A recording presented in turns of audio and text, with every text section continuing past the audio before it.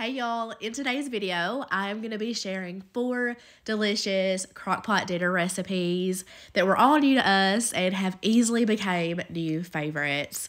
I know that I sound terrible in today's voiceovers. I am sick, surprise, surprise, but I just wanted to throw that out there before anyone says anything. Uh, but first up, I made an Olive Garden copycat pasta e fagioli soup. So I'm just kind of giving y'all an overview of all the ingredients I used, but I will go into detail as I'm adding everything into the crock pot. So the very first thing I did was cook up a pound of ground beef. I always like to season mine about halfway through the the cooking time with just some onion and garlic powder, salt, and black pepper. Once it's fully cooked, if you see a lot of excess grease, definitely drain that off. But this is such a quick step. I absolutely love how quick ground beef cooks up. So I got that added to the bottom of my crock pot. And then I grabbed a couple stalks of celery and a couple carrots uh, that I peeled. I washed them well and I diced all of that up. And I was going to throw that straight on top of the ground beef. Now, the recipe does call for a whole onion to be diced and added as well. But if you are are new here, I don't cook with onions. It's just who I am. So Next, I'm going to grab a can of northern beans and a can of red kidney beans, rinse and drain those. You'll also need a can of diced tomatoes. I love the red gold chili ready ones. I just recently realized that there is chili powder in them, um, which doesn't typically go with the flavors of this soup, but we love the turnout, so I will definitely do it again. Um, you'll also need a can or a jar of your favorite spaghetti sauce. I'm just going with the Hunt's. It is a cheaper one, but we really really like it, and it works so well in this soup. You'll also need some beef broth. I'm measuring out three cups. You can definitely use a lower sodium version if you want to. I just went with a regular. You'll also need some oregano. The recipe calls for two teaspoons, but I was at the bottom of this jar and I just wanted to finish it off. So it was maybe a little bit more. I'm also going to add in some dried parsley, just kind of eyeball that. And then I'm going to season it pretty heavily with some black pepper and salt. So I'm just gonna go in and I'm gonna stir that really well. That way all the seasonings aren't just like floating on top. I'm gonna get my lid added on and I cooked mine on high for four hours, but this is definitely something that you can set on low and let it cook all day, making it perfect if you work outside of the house and you wanna put something on before work because this is something that will not overcook. So I've had this crock pot a really long time. It's my first crock pot that I ever owned. And as you can see, it gets super hot. That thing was boiling. Um, it's very important to get to know your crock pots because I have noticed with this crock pot, obviously I have to cook things for like a lesser time. Anyways, um, about 30 minutes before your cooking time is up, you'll want to add in one cup of ditalini pasta. Now, normally I don't recommend cooking pasta in your crock pot. I have tried it several times and the outcome is never that great. It just kind of changes the texture of the pasta. It's just not very appetizing, but I can say this was the first time that I have ever successfully cooked pasta in the crock pot. It turned out perfect. Um, I guess it was the combination of it being like a small pasta, probably the fact that there's so much broth in there and just the fact that this crock pot does get so hot to the point it is boiling um, but it worked out so good. Like i said i was just very happy about that. Uh, but as you can see this is such a beautiful soup. It is very fully loaded.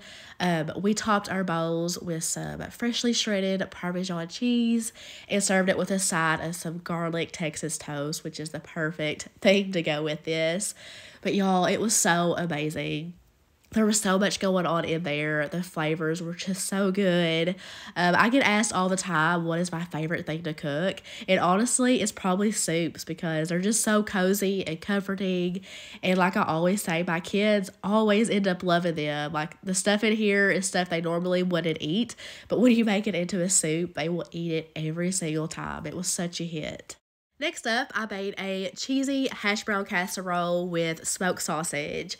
I know this recipe has been around a long time, but like I said, this was my first time doing it. So I started by spraying my crock pot with some Pam cooking spray, and I'm gonna dump out this whole 32 ounce bag of frozen diced hash browns.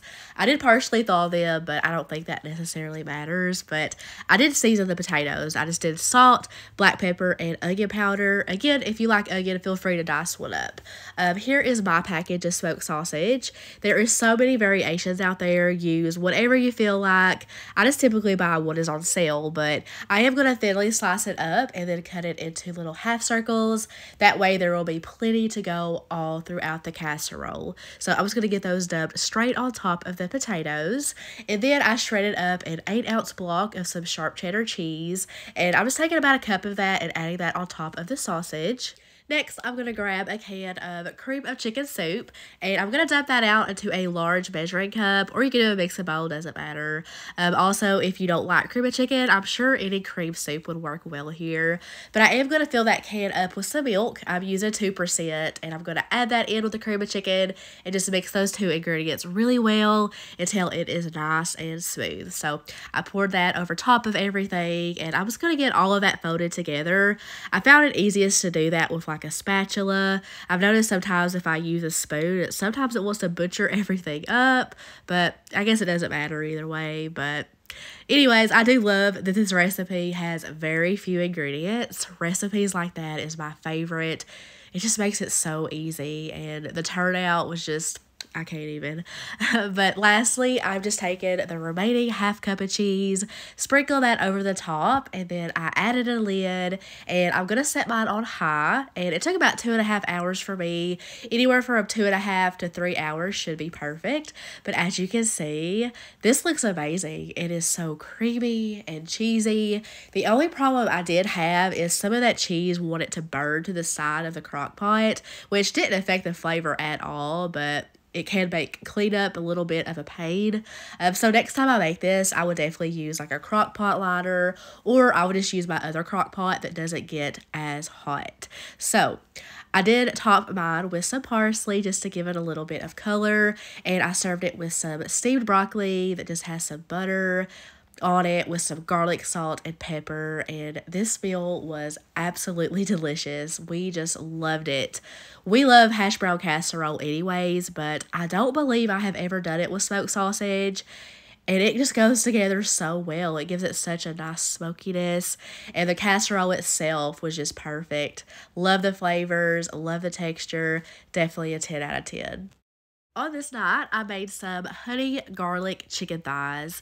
And as you can see, again, very few ingredients. And this recipe was incredible. So you're going to need some boneless, skinless chicken thighs. I can never find that at my local grocery store but they always have the bone and skin on, which really isn't a problem. I'm going to show y'all how I fix these up. This is the cheapest way to do it. Um, as you can see, the skin tears off so easily, literally no effort at all. I'm going to flip these on over so that the bone is facing me, and I'm going to take a sharp knife and I'm just cutting the meat away from the bone. Now, if you've watched me for a while, you know I do not have the best knife skills, and even I did not think this was difficult at all. I'm going to go underneath that bone and there you go. It's out. There's also a little grizzly piece over there that needs to be cut out as well. But after that, that is all that you need to do. Um, if there's like a lot of excess fat, you can trim that off if you want to. It's not necessary, but there you go. A boneless, skinless chicken thigh. So, of course, I repeated that to all of them. It took very little time, and now I have six big pieces of chicken thighs. So I'm going to dump all of that into the bottom of my crock pot and I'm just going to kind of get that spread out a little bit better. And then I'm going to make this sauce that gets poured over the top. So I'm going to measure out a third cup of low sodium soy sauce. I'm also going to measure out a third cup of ketchup. This is just regular tomato ketchup. And then I'm also going to do a third cup of honey. I love that all of those ingredients use the same measurement. That way I only had to dirty up one measuring cup. I'm also going to do two big spoonfuls of minced garlic. You could definitely do fresh minced garlic if you wanted to. I know that would make it even better. Um, and then I, lastly, I just did a small splash of apple cider vinegar and I got that mixed really well. You definitely want to make sure to get that honey broken up evenly. Uh, but I poured that all over the top of the chicken. I added my lid and I cooked mine on high and it only took two hours. I checked the tenderness of it after two hours. I checked it with a meat thermometer and it was perfect. But if you needed a longer cook time, you could do it on low for anywhere from four to five hours, I would say. But here I added a cornstarch slurry, which is two tablespoons of cornstarch and two tablespoons of cold water mixed together. I added the lid back on and I let that cook on high for 15 minutes. And in the past, I've had issues with cornstarch slurries working in the crock pot. But again, this time it worked perfectly. I thought this consistency was absolutely perfect. Um, I'm going to serve this over some white rice. I also think this will be really good over some like fried rice. I was even going to go to our local Chinese restaurant and order some of that to go along with this chicken, but they were closed on this day, sadly. But it was still really good with the white rice. Um, you could top this with sesame seeds to make it look even nicer. I was just feeling lazy this day, to be honest. But I did top my husband's with some green onions. And y'all, like I said, this recipe truly is incredible. The sauce is so good and flavorful and pairs so well with that chicken. And the chicken cooks so perfectly. I absolutely love chicken thighs, especially in a crock pot. The meat turned out so juicy and tender, and I honestly just cannot wait to make it again. Last but certainly not least, I'm going to be making some buffalo chicken sandwiches. Now, I know this is probably the most like basic crockpot recipe out there, and probably everyone knows about it, and that is okay. If that is the case, here is your reminder to make it again. Now, I have done variations of this. I know for sure that I have done something similar with a block of cream cheese. That was really good as well, uh, but I just wanted to do the most simple version. So I threw a whole family size pack of chicken tenderloins in the bottom. I covered it with a packet of ranch seasoning mix, and then I just drizzled on some buffalo sauce. I didn't do a certain amount. I just basically wanted to cover the tops because I knew that I could add more later if I needed to. I didn't want to make it overly spicy for my family. So I was giving that a quick mix, and again, I'm going to cook it on high for two hours.